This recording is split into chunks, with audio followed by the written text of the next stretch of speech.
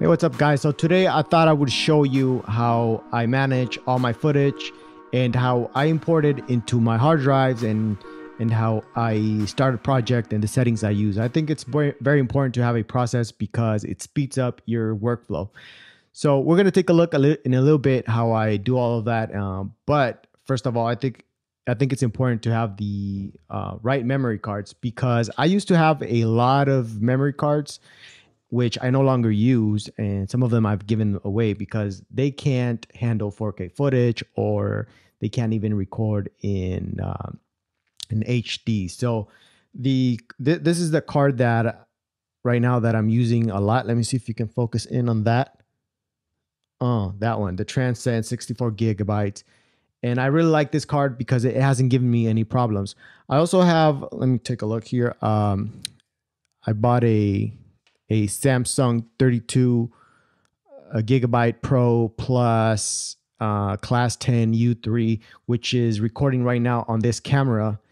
And the reason I don't like this card as much is because I was doing a client shoot. It, it was a about a 38 minute uh, interview, and what I saw was that the card was making a new clip every 10 minutes and 45 seconds or so. So instead of having one big clip or one 37 minute uh, clip interview, I ended up with four, and I'll tell you why. So the first two were partitioned on their own, 10 minutes and 45 seconds. And then my Sony a6300 stops recording around the 30 minute mark. So I had to click record again uh, to start the recording again. So I ended up with four clips instead of just two. Um, so I don't like that, especially because I was shooting HD.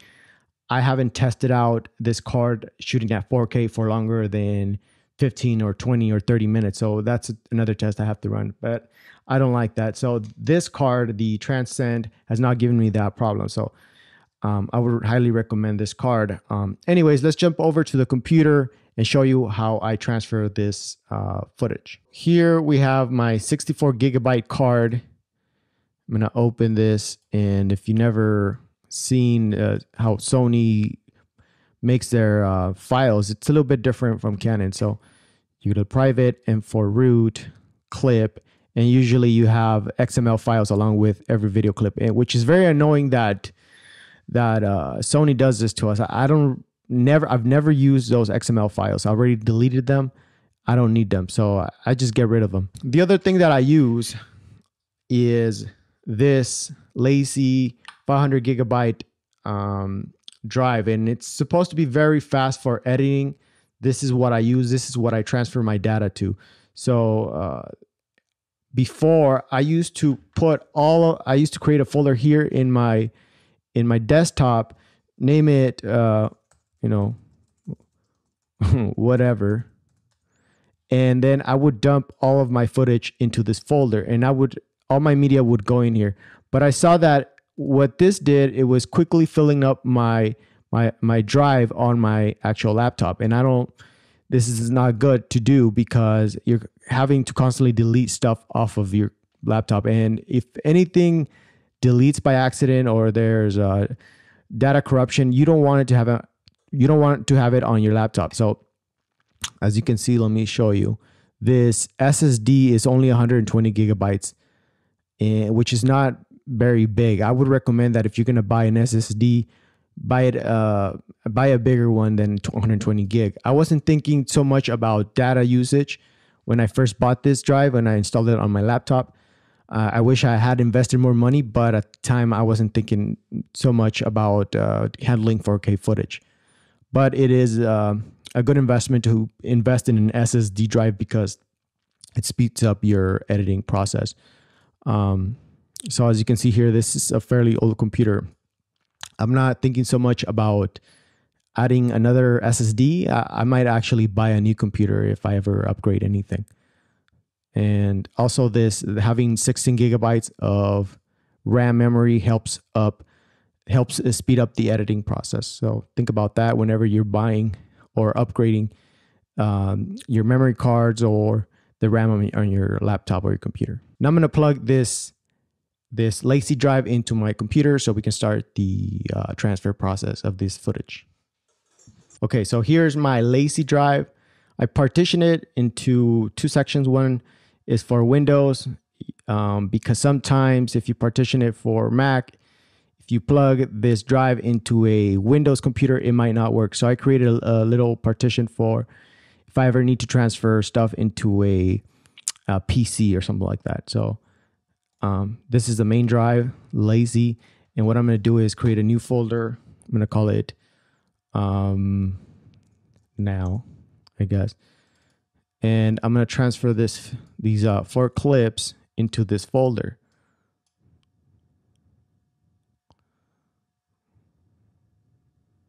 Hold on. Oh, my computer went wacky. Okay. So I'm going to transfer these. Something happened there. Hold on. I transfer these four video clips into my now folder.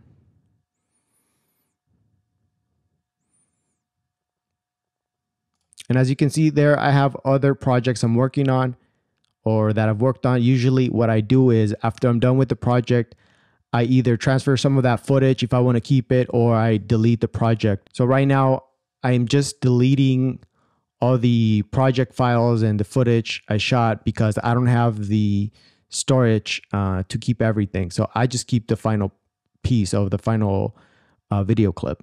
So this I might get rid of after I have an uh, after my space gets filled up in this 500 gigabyte uh, uh, LaCie drive. So now that I have this imported, I'm gonna open up Final Cut Pro. I'm gonna go to File, New, and create a new library. And I'm gonna put this under in my LaCie drive in the file I created called Now, and I'm gonna name the the project the, the library now. I'm gonna click save. And the next thing is I'm gonna create a new project. I keep everything here the same. I'm gonna name the project now. And then you gotta be careful here because sometimes this might default to 4K.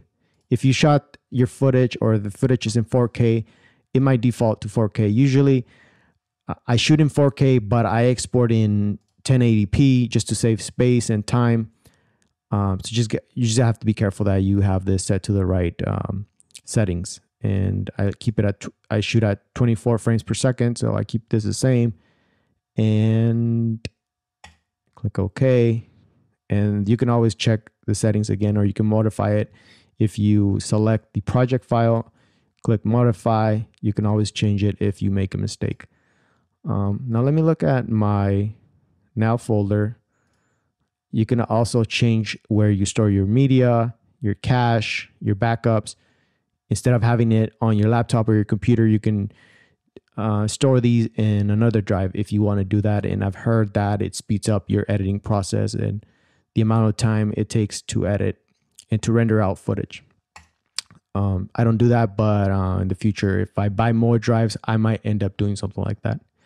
Okay, so to import data, Command I, go to the LaCie drive. Now, or just hit the net, um, click on, or just click on now, and it will import everything that's that's in the now folder. So that's pretty much my my work workflow to edit and get everything in. The next thing I do is once I import my footage, I go to uh, the preferences, go to click on Final Cut Pro, preferences, and I turn off this background render. I don't turn it on unless I really need it.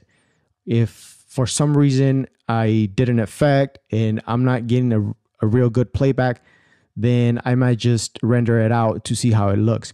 Otherwise, I only turn this on after I'm totally finished with all the editing and I know that the project looks pretty much how I want it to look.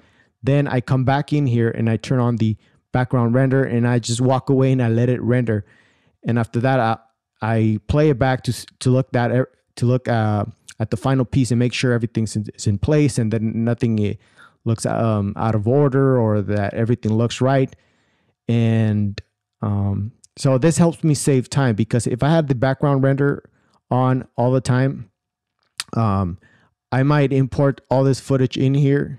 And as I'm working, this will in the background, the rendering will be going on. And I don't want that. I want to save as much as uh, the working memory as I can and just reserve it to the very end. So that, that's helped me edit faster. And I don't really think you need to render out anything until the end, unless you really need to. But for the most part, I don't think you do. Okay, so that's helped me also when I import uh, footage, I let it um, do the transcoding and analysis at the beginning, or sometimes I might just start right away. But these are fairly small files, so I can get started right away. Okay, so that's basically the whole process of how I take the footage from my card, put it in my computer, or put it in uh, an external drive, and edit off of that drive. Like I said, I edited off of this LaCie drive, which is supposedly very fast, and that's what's worked for me because I don't like storing stuff on my laptop. So I would suggest that you you know you try to keep your laptop or your working computer as as clean as possible and try to use a fast drive if you can. Um, the SS, the this LaCie drive has worked really great for me. So, anyways, I would love to know if you have any questions and if you have any suggestions, I'm always open to learn and to do things differently and and learn from this process. So, um, if anything you want to share, go ahead and do so in the comments section. I hope you found this useful, and I'm pretty sure I covered everything I wanted to cover. So I'll see you guys on the next video.